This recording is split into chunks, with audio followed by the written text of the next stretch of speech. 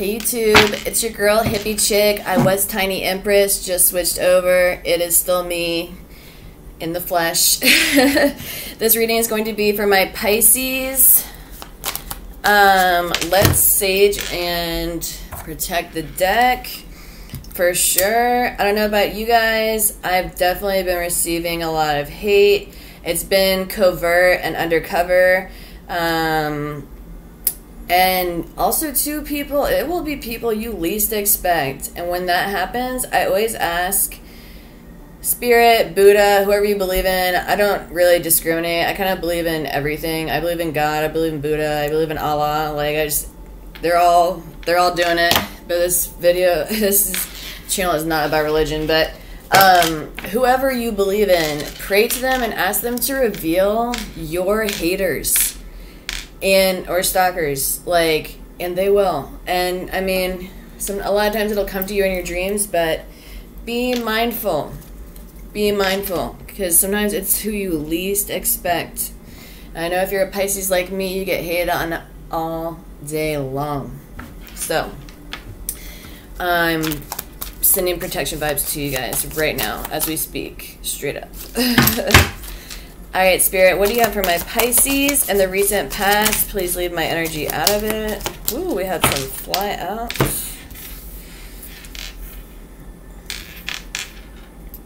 Okay, so you, I get, are coming up as the Nine of Cups. You are in your power, you are in your element.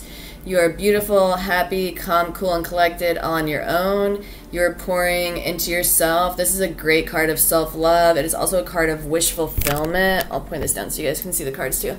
Um, but either way, this is like total happiness and fulfillment all on your own. This is not, you're not with somebody. You could be with somebody and experiencing this energy, but this is like total happiness, solo, dolo, baby, right? Because the person you're dealing with came up in the reverse as the King of Cups. Normally, this would be great, but since it's in the reverse, I get that they're maybe emotionally manipulative, possibly just drinking from their own cup, only pouring into their own self. You see, he's drinking from his own cup, which is fine as long as you know it's in moderation. But I get that, I get that this person is person is emotionally manipulative, and that is what caused you to feel like you're being treated unfairly with the justice in reverse. And instead of like totally going Grim Reaper on their ass, I feel like you're just in this Four of Swords energy where you are trying to heal, you're thinking, you're pensive, you're you know, maybe this is the last nail you need to put in the coffin, but I see a couple more out there. So you're not totally done with this person, but I feel like you are trying to go within and meditate on this connection. Is this what I want? Is this what I should be doing? What's up? Right? But unfortunately, this came out in the reverse. And though I do get those vibes, I also get that you're having a hard time healing, period, from this situation. You just are. Um, but you're still in your power with the Nine of Cups, so there is hope. Spirit, what do you have for my Pisces in the present? What do you have for my Pisces in the present? So right off the bat, we had the Nine of Pentacles. Okay. Spirit, what do you have for my Pisces in the present? What do you have for my Pisces in the present? Oh, and just so you guys know, I read intuitively. Sometimes I'll read reversals, sometimes not. It just feels as if I'm like feeling that that's what's going on. So, just a heads up. Spirit, what do you have for my Pisces in the present? So, Three of Pentacles at the bottom of the deck. So you've been watering this situation for a while. And so I'm getting that this person is coming up. So this person's selfish. I'm just getting selfish vibes. Emotionally manipulative with the King of Cups. The Nine of Pentacles came out in reverse. And I'm feeling like this is their energy. I feel that typically this would be a beautiful card. This is a person who's abundant, self-sufficient, financially stable, they're grounded, they're Gucci, right? But it was in reverse and that to me means a few things. Either this person is pretending to be Nine of Pentacles, stable, grounded, Gucci, uh, financially abundant, right? Or just abundant in general. I feel like they're either pretending to be that way and you found out that they're not, or um, this person is very selfish. Maybe they are all of those things, but they're keeping it to themselves instead of sharing it with their partner, you, um, which is what you do when you're in partnerships or relationships, or maybe this is a friend. I don't know if it's your family member. I don't know what's going on, but they're. I'm getting that they're being selfish. That's what I really feel. Um, they're keeping all their riches to themselves. That's not like I'm not saying they should be spending every dollar they have on you. I mean, some relationships are like that, some aren't. But I'm just saying that they're just being selfish. Like, there should be a certain level of giving and receiving, and that's not going on. Right? And we also have the Ten of Swords. And I love in this deck that you have the butterfly, right? So it's like it can be a transformative energy. It often is. The tens go to ones typically. Um, so this, you know, but this, the Ten of Swords in the Rider Waite deck is someone being stabbed in the back with 10 swords. Like, it's not a good vibe. They are so betrayed, so hurt, in pain. And I feel like, I feel like you're moving out of this energy because it came up in the reverse. So, like, you're seeing this person is selfish. You're in your power. So if you're in your power, that means that like as the Nine of Cups, you're intuitive.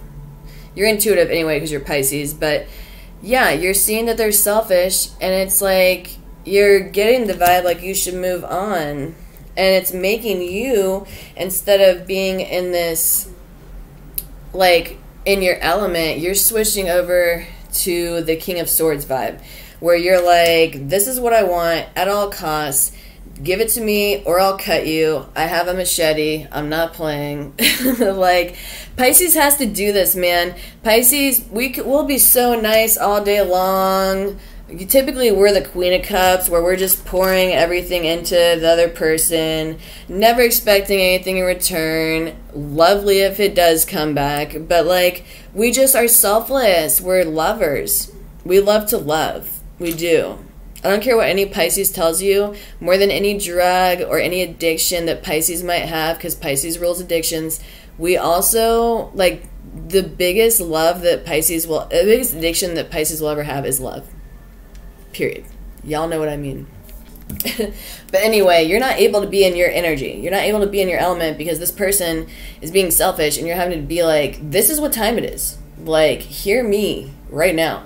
And you better listen up real quick, fast, and in a hurry. The King of Swords is not playing. They're not necessarily being completely ruthless, cutthroat, manipulative, but they know what they want and they're going to get it. And if you can't do that, then sorry. Like, not sorry, actually, at all. at all. Spirit, what do you have for my Pisces in the future? What do you have for my Pisces in the future?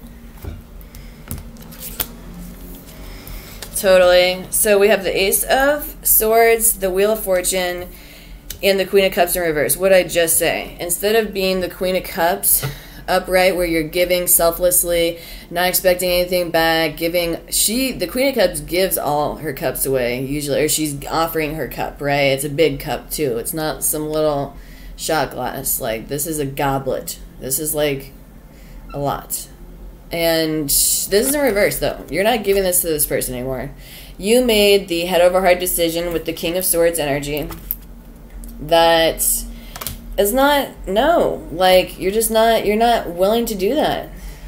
And that's because maybe a big truth came out about this person. Maybe the truth was that they are selfish and manipulative. And, you know, because we had the Nine of Pentacles energy in reverse where or maybe like the truth that came out was that they were like hiding who they really are, hiding that they're not actually grounded and stable at all, and it's making a, for a faulty foundation for this relationship because they couldn't just be honest with you. But now you're like you're being honest with them regardless of what's going on, and you're serving up the truth, and that's why this Wheel of Fortune came out. And I feel like you are the one in white on top, right? The wheel's turning in your favor. And they're the person in black.